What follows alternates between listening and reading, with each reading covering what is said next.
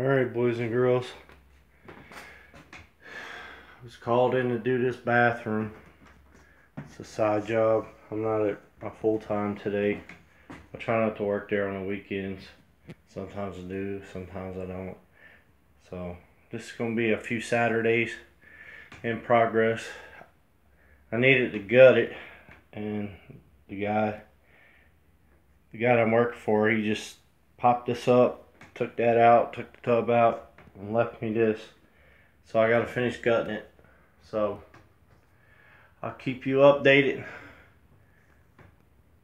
This be another bathroom, part one. Alright guys, hang in there. Till the next time.